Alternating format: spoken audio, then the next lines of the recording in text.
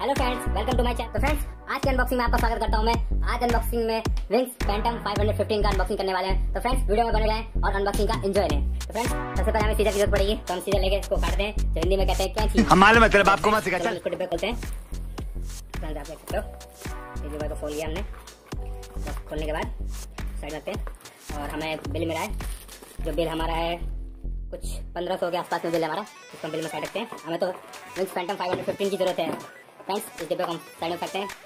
और ये रहा हमारा Wings Phantom five hundred fifteen तो आप देख सकते हो, देखने में तो बहुत प्यारा लग रहा है। चलो हम इसको अनबॉक्सिंग करते हैं। फ्रेंड्स अनबॉक्सिंग करते हैं। खोलते हैं इसको तो हम सबसे पहले तो हम इसकी पन्नी निकाल लेते हैं, जो ऊपर लगी हुई है। इसकी पन्नी निकाल लेते हैं। तो फ्रेंड्स हमने पन्नी निकाल ली है। अभी हम डिब्बा खोलते हैं। तो आप देख सकते हो, डिब्बा खोलते हैं हम लोग। हम खोल लेते हैं इसका। स्टिकर लगा हुआ है यहाँ पे। देख सकते हो भी बड़ा कूल लग रहा है देखने में। आप देख सकते हो फ्रेंड्स स्टिकर हम खोल लेते हैं। हम डब्बा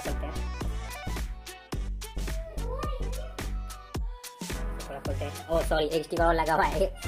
पॉपट हो गया हमारा। दूसरा स्टिकर भी खोल दिया। अब दोनों को हम साथ में खोलते हैं।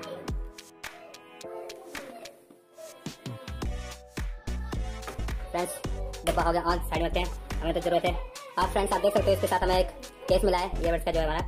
और और फिर क्या मिलता है इसमें और कुछ ईयर टिप्स मिले अपने कान के हिसाब से आप लगा लेना। बाकी हम तो वही लगाएँगे जो है इसमें।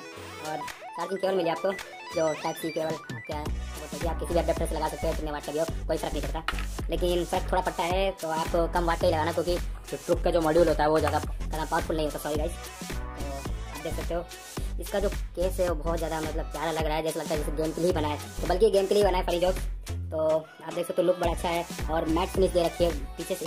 आपका सिर्फ़ इतना जो एरिया है, वो सिर्फ़ मैट फिनिश दे रखा है। बाकी प्लास्टिक है, वो भी मैट फिनिश है। आपका इतना एरिया भी मैट फिनिश दे रखा है।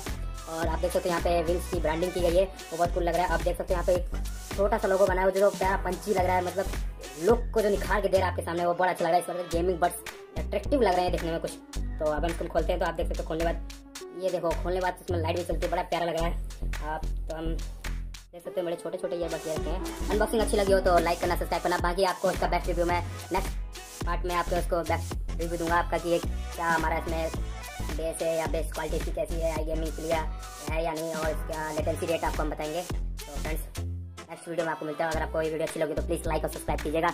ऐसी वीडियो आपके लिए आती रहेंगी। Watch my video